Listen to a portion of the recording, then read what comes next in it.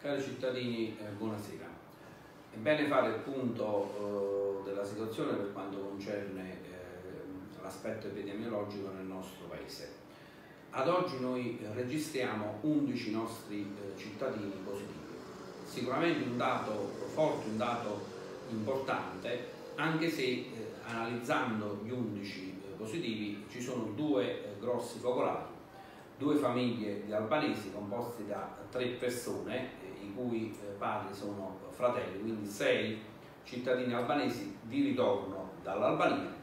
Poi eh, c'è un focolaio tra i senegalesi, abbiamo due senegalesi eh, risultati positivi in via Gramsci e poi ci sono i tre, due giovani di ritorno dalla Sardegna e il positivo 1, l'ultra cinquantenne che sicuramente ha importato il virus anche per l'attività che svolge essendo se non ero rappresentante di commercio.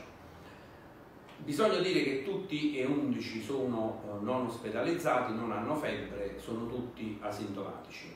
La situazione però va seguita e lo stiamo facendo di ora in ora eh, con l'ausilio dell'ASL eh, che ringrazio per il grosso lavoro che stanno svolgendo a San Marco Evangelista.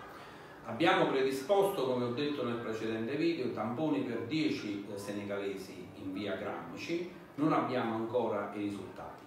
Vi preannuncio che qualora ci dovessero eh, essere ulteriori positivi eh, in forma sempre eh, maggiore, adotteremo eh, ulteriori provvedimenti drastici quali la chiusura di tutte le piazze e piazzette dell'area ginica, di tutti i luoghi dove ci può essere un assembramento perché eh, a questo punto bisognerà intervenire in maniera drastica per cercare di ridurre al minimo eh, i contatti.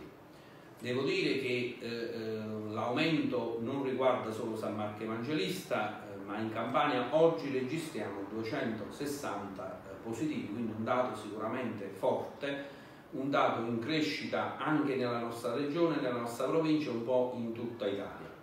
Ripeto, sono quasi tutti anche nella nostra regione asintomatici, fortunatamente le terapie intensive sono vuote un po' dovunque, ma questo aspetto non deve assolutamente eh, rasserenarci, bisogna assolutamente fermare eh, il flusso epidemiologico, bisogna adottare tutte quelle misure che eh, pongano dei freni alla propagazione del virus.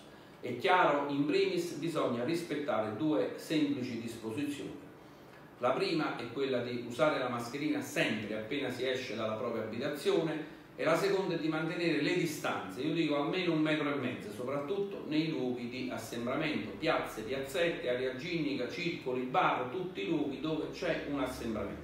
Quindi io mi rivolgo sempre al senso civico di tutti noi, di tutti i cittadini. Guardate, questa è una battaglia che riguarda tutti, non riguarda l'amministrazione o l'ASLO o il comando dei vigili riguarda tutti i cittadini, perché noi siamo gli unici, tutti noi, che possiamo porre il freno vero alla propagazione del virus.